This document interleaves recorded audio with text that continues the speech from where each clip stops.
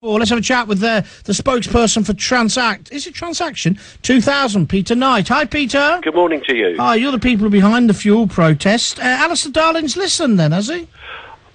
I don't think so at all. No. Well, he's dropped Let's the be 2p. fair. Um, I don't think he has at all because if he'd if he'd have put it on anyway, it was just going to drive more nails in the coffin than we've already got at the moment.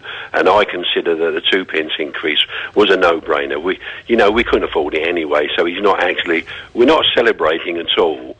Um, uh, he's got to give us a, a lot more than that for So us will, the, be. so will the fuel protests continue, in your opinion? Um, that that I can't tell you at this present time. We was we was in government yesterday, um, listening to a debate which was very interesting about the the oil prices. Um, we're back in London again tomorrow, um, working with the government again tomorrow. We're with the Transport Select Committee tomorrow, so that there's an awful lot going on. Um, as I said, you know, yeah, the two pence. What do you sa- want then? Sorry. What do you want? Well, as we've said before, you know, the FTA, the RHA, and Transaction are all saying the same. We need 25 pence a litre off of our fuel price so that we can be... Um, Hang on a minute. 25p off every litre for everybody? no, just for essential users. Well, what, who, who's going to be called an essential user then? Well, us guys that deliver the stuff to your supermarket. Yeah, okay, so truckers. What about cabbies? Sorry? What about cabbies? What about cabbies? Yeah. Well, They're they- essential. What about a driving instructor? How on earth is a... If you're going to quiz me, sir, I shall just put the... f- Um, Well, if, I, if I'm going to quiz you, you're going to put the phone down. Listen, just... Well, I'm not allowed to ask you questions. I think I've had... Um, I think I've had some dealings with you before. Let me just Do tell you want to answer the question? You know, what, if what's an essential user? You say you're a spokesperson for them. I've asked you a straight question. What are you after? You've answered that question, which is 25p. If you don't want somebody then to ask you the next question, you're a pretty pathetic lobby group, and I don't know why anyone would take you seriously. It's a perfectly reasonable question I'm asking, and you've got on your high horse and said, if you're going to quiz me, I'll put a phone. Hell do you think you are? Goodness me. Answer the question. Why isn't a cabbie as important as a haulier? Why isn't a driving instructor? Why don't they deserve it? Why doesn't the ordinary motorist deserve it? I actually support your aims, although I, I don't really know what your aims are because you seem incapable of describing them on national Let me radio. just... Let me just... Call yourself a spokesman? Have you been smelling the petrol or what? I bet you're no bigger than about five foot two with an attitude like that. Anyway, let's go on. Are You're going to answer the question Yeah, I'm going to answer the question. rather than insult me. Listen, let's put it where it belongs, okay? The general public, they have a choice to use their car or not. Do they? What, if they live in the When- rural community? When when my trucks leave my yard, So it's just about truckers. Oh, right. when my trucks leave my yard, I don't have anything to do only fill them up with diesel. Okay? And that's what I have to do to maintain my business, to make sure that everything is So it's all about self-interest then. The truckers just looking after themselves, you looking after your own business, No, no, no. rather than trying to get the British public to support you. I mean, you know, isn't oh, isn't this is a PR disaster for you. What you're saying is you don't care about anybody else apart from hauliers. You don't even care about the cabbies, Let me the just you backbone of Britain. Let me just... What, cabbies?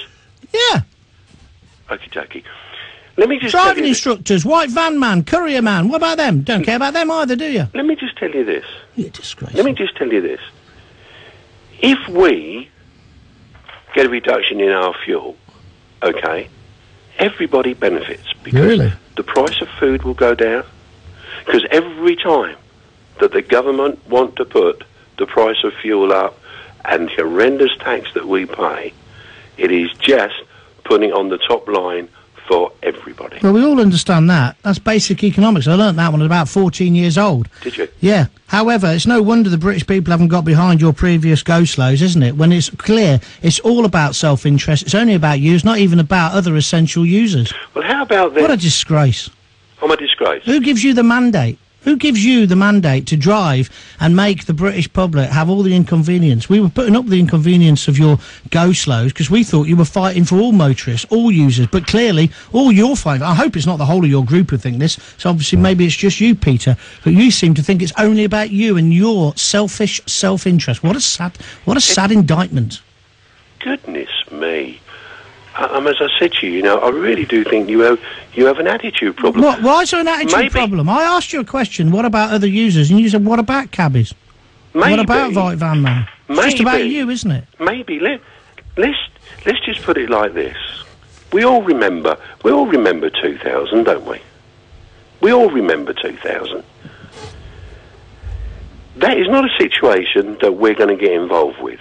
We have made major, major steps with this government to try and make them understand that road hauliers are a major, major part of this economy. And Sounds to me like you spent a bit too much time in Downing Street. Are you not worried you're becoming one of them, Peter? I'm becoming. You made a. Freudian slip at the beginning of the interview, and maybe we'll play it back to you later. Uh, we were in government yesterday. Freudian slip, perhaps. We, no, Sure, you're not getting too cosy with government. we no, we're not at all. Sure, Yeah, positive, comfortable absolutely. Right, but it's just about hauliers. Pardon? It's just about hauliers. White If- van man doesn't deserve 25p off of the fuel. Why? Cabbies definitely don't, because you speak with them ab- about them with disdain. I heard it in your voice. What about ambulances? Right. But let's be let's be fair. As far as I as I'm concerned, we are fighting for British hauliers. Yeah, clearly. Nice okay? talking to you. And we are. That's Peter Knight from uh, Transaction 2000. Uh, tell him to ring me up afterwards and I'll give him some media training. Well, I'll charge him. Uh, 11.31.